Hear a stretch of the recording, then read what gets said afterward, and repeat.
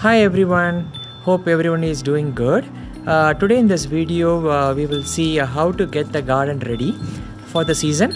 Uh, so I'll tell you the steps involved in uh, getting the vegetable beds, uh, and we have grow bags this year. So I'll, I'll show you all the steps required to get the season started. Last year we made the vegetable beds. We got the materials from Lowe's, Home Depot, and it cost us about 80 Canadian dollars to make the beds. We put cardboards underneath so that there won't be any weeds coming out. The soil was ordered online and they came and dropped it in our driveway. Thought of sharing this information uh, as I have not uh, shared these in my previous videos.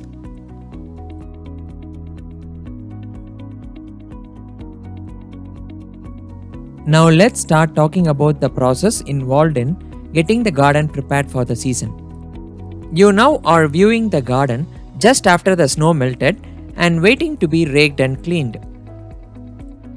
As you see, I have placed the bags of garden soil and cow manure which I had purchased from uh, Lowe's and Home Depot to enrich the soil in the existing vegetable beds. My daughter saying hello to all of you uh, from the window. The vegetable beds uh, need to be raked and cleaned. Uh, we haven't done anything yet. Uh, snow during last winter had been higher than average, and it took a longer time to melt this year, and hence delayed the start of the gardening season this year. It's day two of our uh, garden cleanup and preparation. Kids are eager to help, and as a result of COVID 19, schools are closed and they are studying from home. They now have the opportunity to do some gardening as well, apart from their regular school curriculum. Kids are helping the grandpa in raking the fallen leaves in the garden and filling them in the trash bags so that it can be used in the vegetable beds and in grow bags as well. My dad is getting the vegetable uh, beds ready. He is loosening the soil in the vegetable beds. The old soil from pots are recycled and loosened and are getting ready to be enriched with compost, raked leaves, and fertilizer. Loosening the soil is quite important uh, step uh, before you start uh, preparing uh, the soil uh, for enrichment. Break apart large clods of dirt until all of the soil has a similar size and consistency. These are the grow bags that I have purchased this year and will be replacing the pots.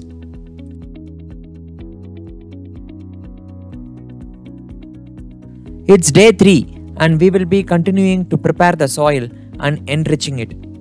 My daughter is getting the compost that we got from the city of Calgary last year. Compost adds some nutrients to the soil, but it also boosts your uh, organic matter level, which helps hold moisture and uh, nutrients in the root zone.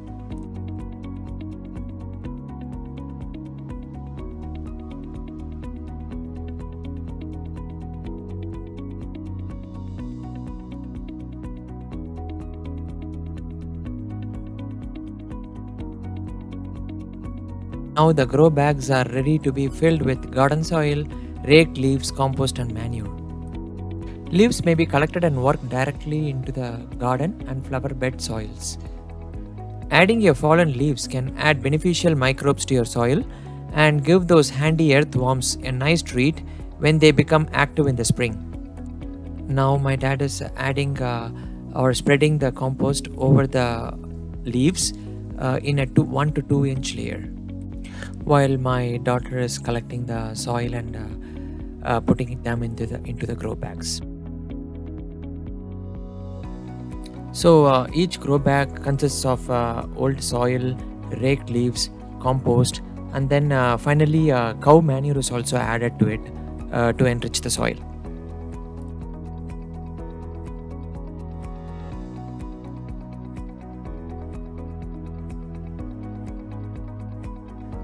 I'm also doing my part uh, in uh, putting all the soil uh, into the grow bags.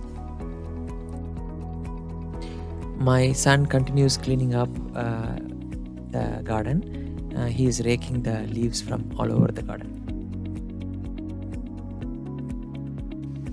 So the grow bags uh, are filled with soil and other nutrients, um, and it's almost ready.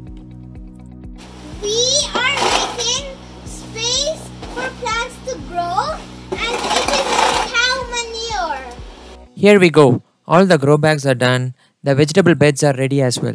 We will need to water it very nice this evening. And in 2 days after the soil gets little warm to about 15 degrees centigrade, the seeds are ready to be sown.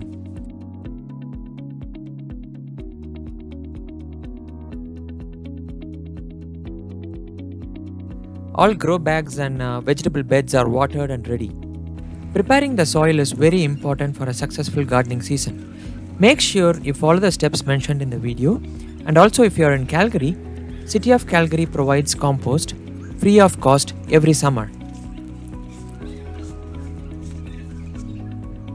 Thanks for watching my video and don't forget to subscribe and if you have any questions please feel free to ask in the comment section below.